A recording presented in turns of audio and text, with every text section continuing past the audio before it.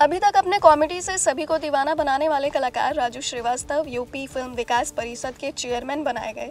हास्य कलाकार Raju Srivastava film city की स्थापना जल्द कराने की योजना पर काम करेंगे। उन्होंने बताया कि उनका सबसे पहला कदम होगा भोजपुरी फ़िल्मों से अश्लीलता को खत्म करना। उनका कहना है कि भोजपुरी बोली सिर्फ़ उत्तर प्रदेश ही नहीं, बल्कि पूरे देश में अपनी पहचान बना चुकी है। भोजपुरी फ़िल्मों में जिस तरह से अश्लीलता परोसी जा रही है, वो बहुत दुखद है। इसे शक्ति से दूर कराया जाएगा।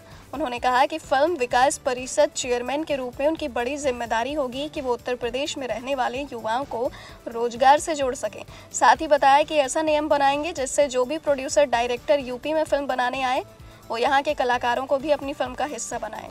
फ़िल्म निर्माता अपने लीड कलाकार, अभिनेता, अभिनेत्री चुनने के लिए स्वतंत्र होंगे, लेकिन सह कलाकार या फ़िल्मों के सेट लगाने, दूसरे कार्य जैसे लाइट केटरिंग के लिए राज्यों से ही लोगों को लिया जाए। सब्सिडी उन्हीं फ़िल्मों को देंगे जो समाज को जोड़ने वाली और संदेश परक होगी। Next to nine news Bhojpuriya से ममता की रिपोर्ट।